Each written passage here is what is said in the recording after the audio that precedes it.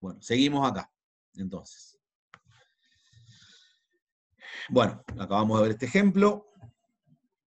Acá tenemos el ejemplo de la multiplicación, ahí teníamos un ejemplo de la división. División por P, acá tenemos, y sigue equivocado, mirá, fíjate que es Q acá. Debería ser P, debería ser la misma, el mismo factor por el que se multiplica. Bien, o sea, ustedes lo entienden. Acá, acá hay un error. Pero fíjense que son cosas copiadas, no, son, no las he escrito yo. Esto que tiene otro color es porque lo he sacado de una imagen. Bueno. Eh, el ejemplo sería, por ejemplo, 3 elevado a 4 sobre 2, multiplico todo por 2, 3 por 2, 6, 2 por 2, 4, y me queda raíz sexta de 4 elevado a la cuarta. O sea, esta raíz es equivalente con esta. Eso sería, esa es la, idea de esto, de ver cuáles raíces son eh, las equivalencias. Bien. Eh, ah, perfecto. Ahí después de cualquier cosa hablamos, Ismael. Em, seguimos con esto. Por ejemplo, raíz cuadrada, multiplico por 3 el índice y el exponente y me queda e, una raíz equivalente de raíz sexta de 2 al cubo. Por ejemplo, ¿para qué me puede servir esto? Y yo tengo raíz cuadrada multiplicado una raíz sexta de algo, ¿no? Y si no, tendría que usar la calculadora para resolverlo, que lo puedo hacer, pero muchas veces nos dicen, no, esto no se usa calculadora y no nos dejan usarla. Entonces, para llevar esto a una raíz sexta, para poder juntarla toda en la misma raíz, ¿qué hago? multiplico el, índice y también multiplico el exponente, ¿ven? Entonces ahí tengo una raíz equivalente. Bueno, acá hay dos ejemplos más, sencillo, raíz cuadrada de 4, raíz cúbica de 8, listo, ahí lo resolvemos y chao. La de abajo también está. Fíjense que raíces negativas, de números negativos, solo, son, solo se pueden resolver en los reales cuando el exponente es impar.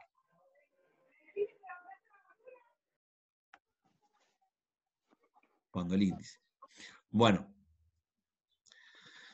eh, esto se lo voy a dejar, obviamente. Ustedes pueden parar el video acá y pueden ir viendo cómo han sido las resoluciones. Yo lo voy a pasar un poco más rápido para que no, no detenernos tanto, pero fíjense, acá es la raíz cuarta de 5, lo transformo a exponente fraccionario de raíz de un cuarto. Raíz de un cuarto es equivalente a la raíz, eh, de, eh, a la raíz, perdón, 5 elevado a un cuarto es lo mismo, es equivalente a 5 elevado a 2 octavos, o sea que las raíces son equivalentes. Una raíz cuarta de 5 es equivalente a una raíz octava de 5 al cuadrado, o de 20, raíz octava de 25. Eso quiere decir, cómo transformar esta raíz en una raíz equivalente. Bien, acá sucede lo mismo, con todos los ejemplos para abajo son los mismos, los cuatro ejemplos. Yo se los dejo acá, ustedes cuando vean el video lo pueden parar y pueden ir haciendo y revisando cada uno, ¿sí? Radicales semejantes, se me quedó el título de abajo pegado, no importa. Llamamos radicales, fíjense que serán radicales, raíces equivalentes, esos son radicales semejantes. Los radicales semejantes los llamamos a los radicales que poseen el mismo índice y. Tan, tan solo pueden ser diferentes en el coeficiente que poseen. En ocasiones debemos simplificar los radicales al máximo para que sean semejantes y poder realizar algunas operaciones con ellos. ¿A qué nos referimos? A esto, miren. Yo tengo una raíz séptima de distintas, o sea, del, mismo número, de 5. Raíz séptima de 5, raíz séptima de 5, raíz séptima de 5. ¿En qué varía esta con esta, con esta, con esta? En el coeficiente que la acompaña. 3, 6, menos 9, 4. Esto es como decir, lo voy a simplificar al extremo.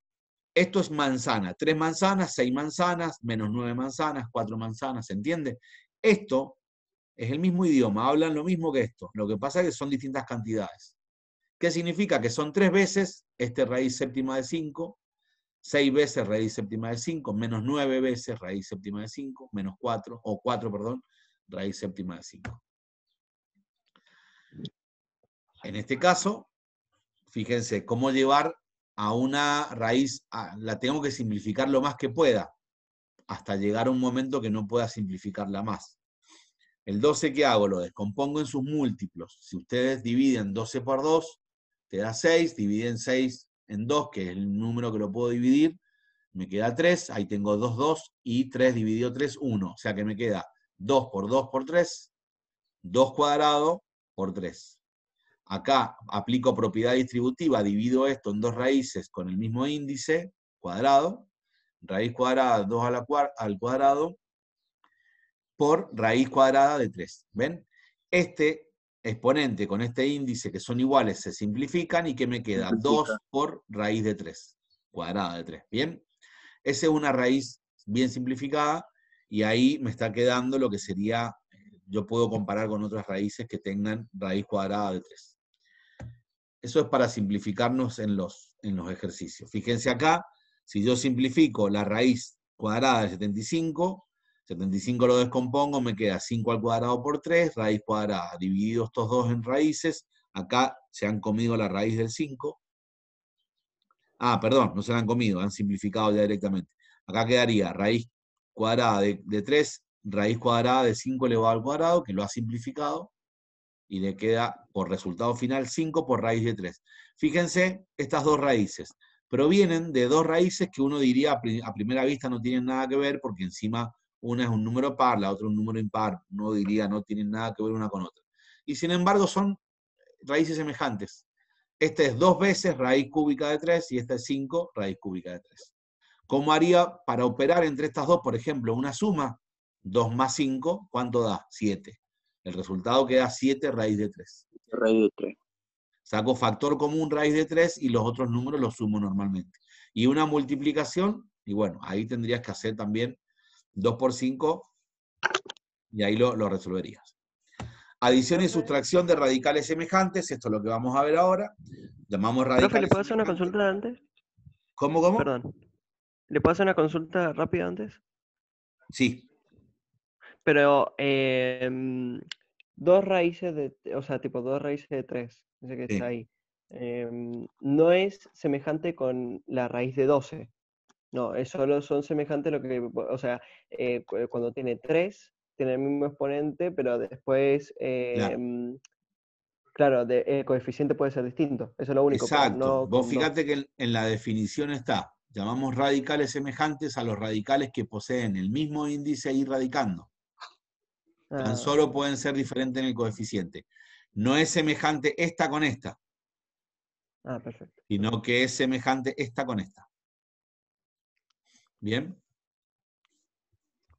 Adición y sustracción. Bueno.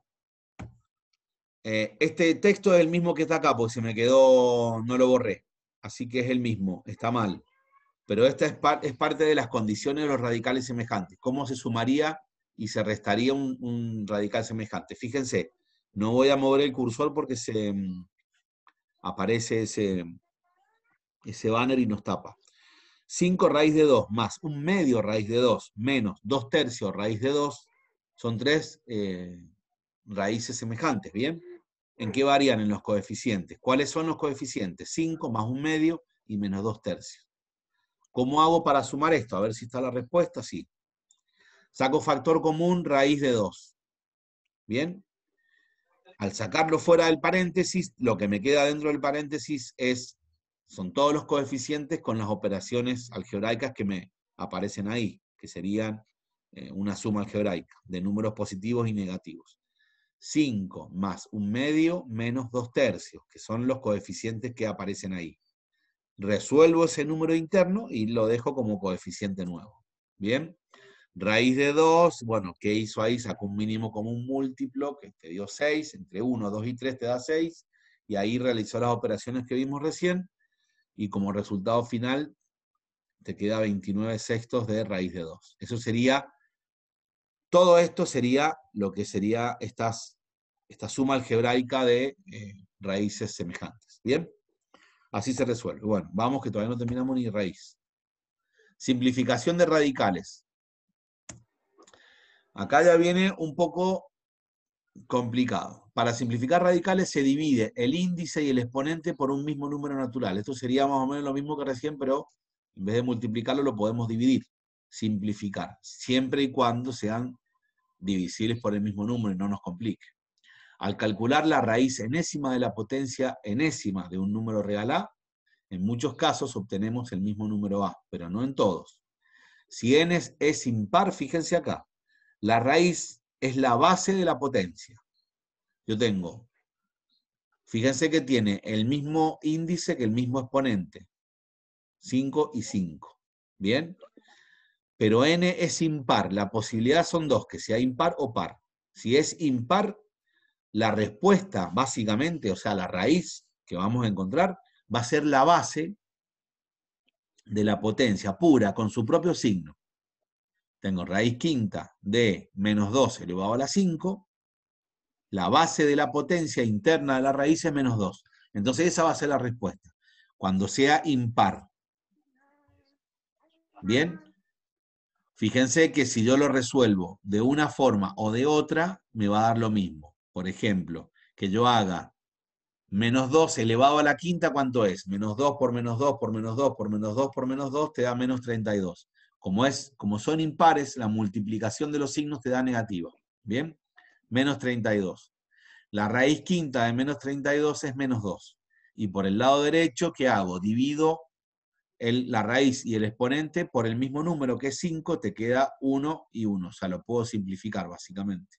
Y te queda menos 2. Ahí se confirma que si n es impar, la raíz es exactamente la base de la potencia, sea cual sea, positivo o negativo. Pero si n es par y el radicando es positivo, la raíz es igual al valor absoluto, siempre positivo, de la base de la potencia. Si n es par, pero el radicando es negativo, no podemos aplicar el mismo procedimiento. Fíjate. Yo tengo exponentes par y raíz par de una base, digamos, negativa. ¿Bien? Si yo lo resuelvo por el lado izquierdo y por el lado derecho no llego al mismo valor. Fíjense. ¿Por qué? Porque si resuelvo por el lado izquierdo, lo que estoy haciendo básicamente es eh, elevar al menos 2 a la cuarta. Al elevarlo a un número par, me va a dar positivo. 2 por 2 por 2 por 2 te da 16 y el signo va a ser positivo. Entonces te queda raíz cuarta de 16. Raíz cuarta de 16 es 2. Pero si lo resolvemos por el lado derecho, simplificamos raíz y eh, y exponente, y nos queda el menos 2 puro, limpio. Fíjense que 2 no es lo mismo que menos 2. Entonces, hay dos posibles respuestas. Por lo tanto, lo que se aplica, la, la, respuesta es el valor absoluto. Resumiendo, si el índice n es impar, la solución es la base del exponente y si el índice n es par, la solución es el valor absoluto de A, de la base. Valor absoluto, ¿bien? ¿Se acuerdan con lo que era el valor absoluto? La distancia al cero. Las distancias siempre se miden positivas, el número siempre va a ser positivo. Extracción de factores, esta es la última parte, lo que ustedes me habían dicho más temprano. Para extraer factores de un radical se, se descompone el radicando en factores. Ahí lo vamos a ver. Se pueden dar tres situaciones que el exponente del radicando sea menor que el índice, entonces el factor correspondiente se deja en el radicando, lo van a ver. Yo tengo raíz de 6. ¿En qué puedo descomponer al 6? En 2 por 3, ¿bien? Pero fíjense, los exponentes del 2 y el 3, que son 1 en este caso, son menores que el cuadrado de la raíz, del índice. Entonces, bueno, se deja ahí, punto, terminó. Raíz cúbica de 9. 9 en qué se puede descomponer en 3 por 3, ¿no es cierto? O sea, 3 al cuadrado. Pero el cuadrado sigue siendo menor que el 3. Punto, lo dejamos ahí, no hay solución. No se puede sacar, no hay llave para salir de la raíz. La otra situación que se puede dar es que el exponente sean iguales con, con el índice. El factor correspondiente sale fuera del radicante. Por ejemplo, 12. ¿A qué es igual? 2 al cuadrado por 3, ¿no es cierto? Entonces nos queda el 2 al cuadrado simplificaría su parte de raíz con la raíz, ¿no es cierto? 2 al cuadrado y la raíz se simplifican. Pero la raíz sigue afectando al 3, ojo, ¿eh? Ahí lo más conveniente es pensar en hacer la raíz distributiva respecto del 2 al cuadrado multiplicando otra raíz cuadrada del 3. ¿Bien? Y ahí lo veríamos con más claridad. La raíz cuadrada del 2 al cuadrado se simplifica y te queda el 2 solo, y al lado te queda la raíz de 3 multiplicando. ¿Bien? Ese es el segundo caso, de que el, exponente sea igual al índice. Otro caso es el 8, que el 8 es 2 al cubo, que me queda raíz cúbica de 2 al cubo, me queda por resultado 2. El tercer caso es que el exponente sea mayor que el índice. Se divide dicho exponente por el índice. El cociente obtenido es el exponente del factor fuera del radicando y el resto es el exponente del factor dentro del radicando. A ver, para, para traducírselo. Si el 3 fuese más grande que este 3 que está acá, yo tengo que dividir este por este, y el 2 va a quedar un 2 adentro de la fracción y un, de, la raíz y un 2 afuera de la raíz. ¿Bien? Entonces me dice, el cociente obtenido es el exponente del factor fuera del radicando, el que va a quedar acá, va a ser un exponente del 2 que va a quedar afuera, y el resto, lo que sobra, digamos, que no, si no es un número, no es exacta la división, eh, va a ser el exponente del que queda adentro. Ahí lo van a ver. Miren. 48. ¿Cómo descompongo el 48? 2 a la cuarta por 3. ¿Bien? Ahora hago lo mismo que hice arriba, distributiva. Tengo raíz cuadrada de 2 a la cuarta por raíz cuadrada de 3. La raíz cuadrada de 3 me ha quedado acá, no le he tocado. Pero fíjense, raíz cuadrada de 2 a la 4, ¿qué hice? Dividí el 4, que es el exponente, dividido 2. ¿Bien? Me da cociente 2 y resto 2. En este caso, eh, no, perdón, el resto 0. El 2, que es el cociente, termina siendo el exponente del 2 que queda fuera. Acá adentro no quedó ningún 2, ¿por qué? Porque el exponente que le quedó fue el resto, que era 0. Entonces 2 a la 0 es 1. Entonces no queda nada arriba. Quizás no fue el mejor ejemplo para empezar, pero estaba así. Acá me queda 4 raíz, porque si, si resuelvo 2 al cuadrado me queda 4. A ver si hay otro ejemplo que se vea más claro. El de abajo, miren. Raíz cúbica de 2,43. Cuando le presenten algo así, muy probablemente el 2,43 ustedes lo puedan descomponer en varios de sus factores, ¿bien? De sus múltiplos, que es lo que van a tender a hacer. Si tomamos 2,43 y lo dividimos, el número que se puede dividir es por 3, por 3, por 3, por 3, 5 veces. Entonces nos queda 3 a la quinta, ¿bien? Fíjense que el, exponente es más grande que eh, el índice de la raíz. ¿Qué hago? Dividido 5, o sea, divido 5 sobre 3. ¿Qué me da? 3 por 1 a 3, me sobran 2. ¿No es cierto? Bueno, el 1, que es 3 por 1 a 3, una vez el 3 entra en 5, ese 1 va a ser el exponente del 3 que quedó afuera. Fíjense que ahora queda un 3 afuera y un 3 adentro. El 1 queda en el 3 que está afuera. Y el 2, que fue el resto, porque es 3 por 1, 3, al 5 me quedan 2. Ese 2 que queda de resto queda como exponente del, eh, número que quedó adentro, del 3 en este caso. Bien, y fíjense que la raíz sigue con el mismo índice, que es raíz cúbica. Entonces, esa raíz 3, perdón, sí, 3 por raíz cúbica de 3 al cuadrado, es una raíz que también es equivalente a la raíz cúbica de 2,43. O la raíz cúbica de 3 a la quinta. O 3 por la raíz cúbica de 9. ¿Se entiende? Guarda los micrófonos. Sí, te escucho. No, no, no, que sí se entiende, digo. Perfecto. Ah, tenemos otro ejemplito, dos ejemplitos más ahí. Fíjense, la raíz de arriba está bastante buena porque es un poco más compleja. La de arriba me refiero a esta, acá. No, no voy a mover más el cursor, así no aparece este cosito negro, pero Fíjense, raíz cuadrada de 2 por 3 al cuadrado por 5 a la quinta. El 2 tiene como exponente 1, así que el 2 no lo toco. El 3 tiene como exponente el 2. Si yo hago la, mm, distributiva de esa raíz con respecto a sus em, radicandos, me quedaría raíz cuadrada de 2 por raíz cuadrada de 3 al cuadrado por raíz cuadrada de 5 a la 5. ¿Bien? Y ahí puedo operar. El 3 al cuadrado, si le aplico la raíz cuadrada, se simplifican la raíz con el 3. Entonces te queda el 3 acá afuera. El 2 queda como raíz de 2 y me falta ver el 5. Raíz cuadrada de 5 a la 5. Divido 5 dividido 2, me da 5 por, 2 eh, por 2, 4, me resto 1. El 2 que sería 2 por 2, va acá afuera, y el 1, que fue el resto, es el que le queda el 5 adentro de la raíz. Lo puedo juntar con la raíz del 2, total es la misma, mismo índice, y me queda así. 3 por 5 al cuadrado por raíz de 2 por 5. O lo que es lo mismo, 75 por raíz de 10. ¿Bien?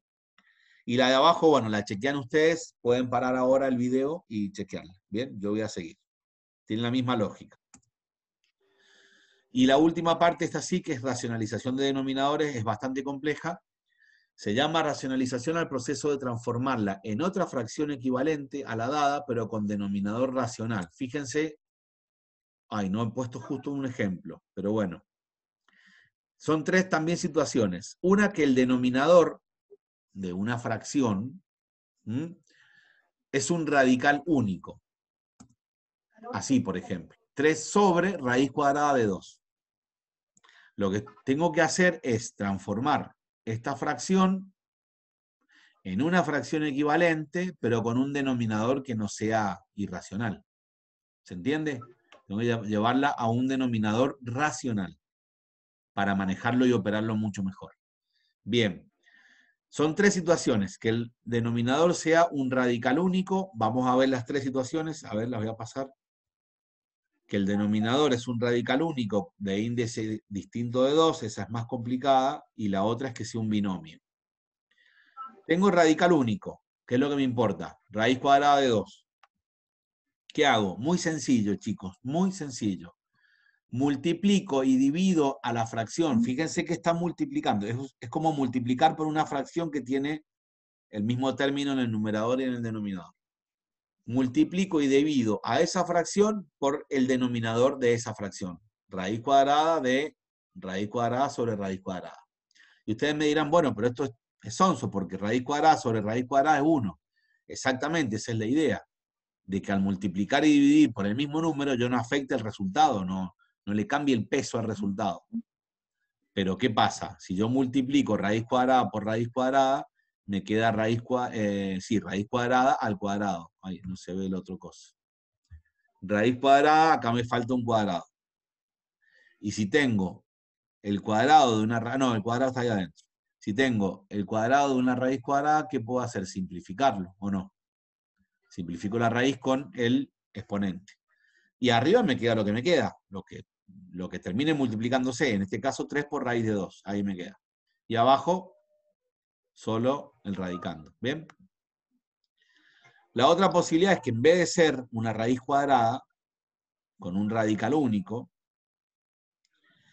sea un radical único, pero fíjense, de índice distinto de 2, por ejemplo, raíz cúbica de 2. Y no se va a poder hacer esto ahí. Cuando es distinto de 2, yo no puedo multiplicarla por 2 y que me quede y, poder eliminarlo. Porque si fuera 3, no me alcanza. ¿Se entiende? Este tiene una, resolución un poquito más compleja, pero piénsenla. Yo lo que necesito hacer es llegar en el denominador a tener una raíz que tenga el mismo índice que el, mismo exponente, que me quede tipo 2 y 2. No me va a quedar 2, me va a quedar 3 o 5 o 10 o lo que sea pero tienen que ser los mismos. ¿Para qué? Para que yo después lo simplifique. ¿Bien? Entonces, multiplico y divido a esta fracción por otra que incluya el término que a mí me va a hacer que esto quede igual. Se multiplica y divide la fracción por una raíz que busque igualar el índice y el exponente de manera de simplificarlo. ¿Se entiende? Miren, lo vamos a volver para atrás. Para que acá me quede el mismo índice y el mismo exponente, ¿qué podría hacer? Sustraer. Claro, sustraer el 5, bueno, en realidad ahí no podría sustraerlo. Lo que puedo hacer es lo siguiente. Ah, está bien, tengo que sacar el 5 de acá y me queda b al cuadrado, raíz cúbica de b al cuadrado. Pero todavía no me sigue quedando igual. Es cúbico y acá es cuadrado, entonces todavía me falta para llegar a que sea raíz cúbica b cubo, yo tengo que multiplicarlo por otra raíz cúbica, pero que sea b elevado a la 1 en este caso. ¿Lo ven? Si yo multiplico esta raíz por esta raíz, olvídense del b que está afuera, que es un coeficiente. Raíz cúbica por raíz cúbica la puedo juntar todo en la misma raíz, ¿no es cierto? Me quedaría solo una raíz cúbica de qué? De b cuadrado por b a la 1. ¿Cuánto es en total? b al cubo. Raíz cúbica de b al cubo, ¿cuánto me queda? b. Raíz cúbica de b al cubo, ¿ven? Simplifico esto, me queda b por b. No se olviden de este b, porque este b queda. Se simplifican los tres nada más. ¿Bien? me queda b por b, a sobre A multiplicado raíz cúbica de B, que era lo que me había quedado acá arriba. Y ahí queda B cuadrado. Profe, tengo una duda. Sí. ¿Qué pasa si, por ejemplo, eh, en la segunda parte, donde ya B al cuadrado raíz de 3, ya me da B eh, al cubo, por ejemplo, y, ya es igual ahí? Eh, claro, ahí ya lo racionalizaste antes de multiplicar, entonces no hace falta que multipliques. La racionalización consiste en convertir esta fracción que tiene un irracional, convertirla en una fracción racional. Entonces, si vos lo lográs por el camino antes de multiplicar y dividir por este número, perfecto. ¿Me ah, entendés? Ahí la terminaste. Que era el objetivo. El objetivo no es multiplicar y dividir. Eso es una herramienta. Vos lo que buscás es racionalizarla, es llegar a esto. Si vos llegaste a esto antes de multiplicar y dividir, listo, zafaste. ¿Bien? Bien, gracias. ¿Qué? Eh, entonces, en lugar de hacer, o sea, multiplicarlo por raíz cúbica de b a la 1, podríamos multiplicarlo por raíz cúbica de b menos 2 antes de sacar la b de, hacer extracción de factores. ¿Acá? En vez de hacer extracción de factores, lo podríamos multiplicar directamente por raíz cúbica de b a la menos 2. Sí. Si alguien no entendió eso que dijo Fernando, creo que es tu nombre. Sí, Fernando no importa, no, hace falta, pero porque es un artilugio remañoso lo que acaba de hacer, o sea, es, es como súper complicado, está buenísimo que lo hayas pensado, porque quiere decir que este tema lo entendés bien, pero si no lo han entendido, no importa, hagan esto, hagan los pasos que yo les dije, que son más sencillos.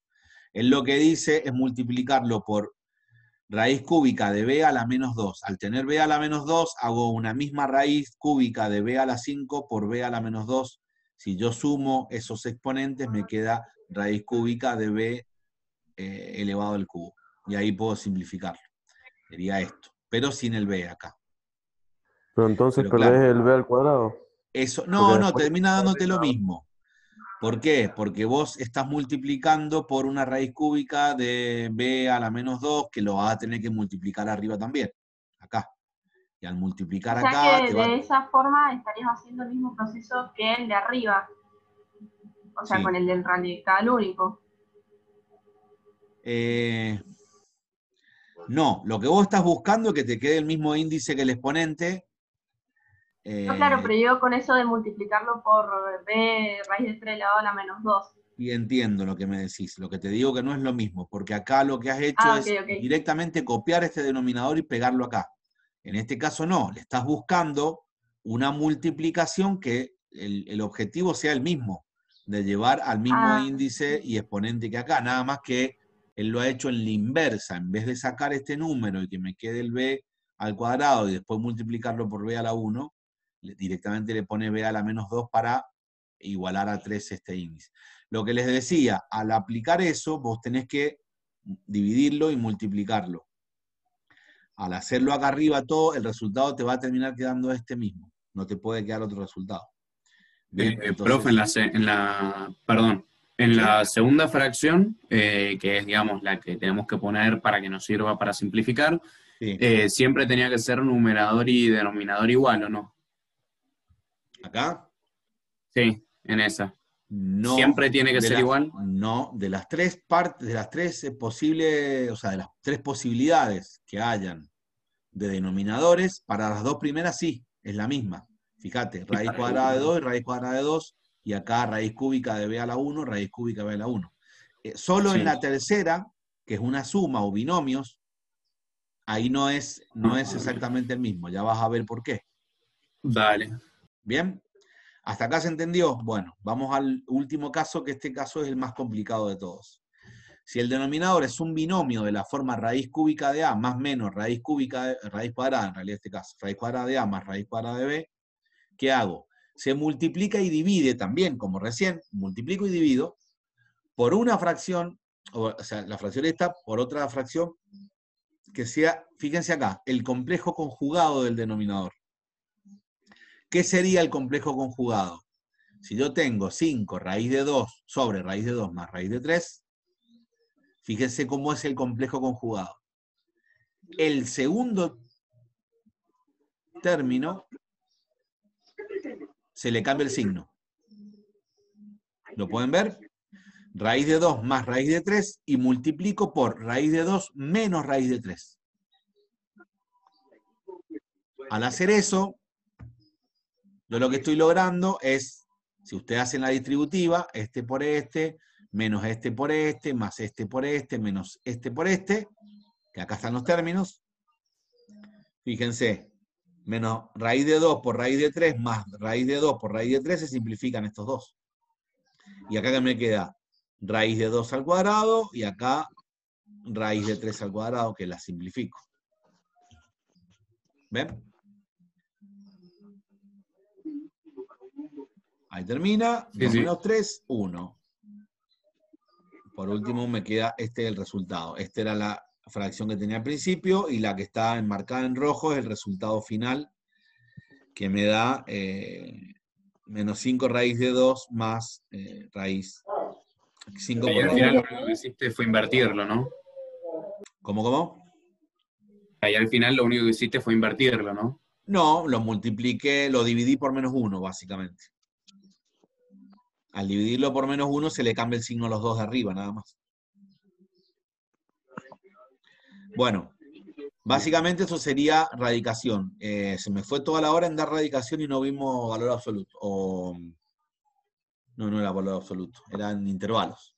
Bien, vamos a seguir rápidamente con intervalos. ¿Dónde están? Radicación. No, radicación en la otra no, tampoco. Intervalos están en el segundo PDF. Eh, cinco minutos, profe. Sí, bueno, volvemos a meternos. Yo les, quiero terminar de dar ese tema. Al finalizar la... Mm, el... Bueno, después se los digo. ¿Qué pasó con esto? Radicación, meta radicación. Este la vamos a cerrar porque ya no quiero más. Esto no sirve más. ¿Por qué radicación también acá? Radicales semejantes. Ah, porque el otro era... Vamos a hacer una cosa, voy a cortar de grabar porque no tiene sentido que grabe esto.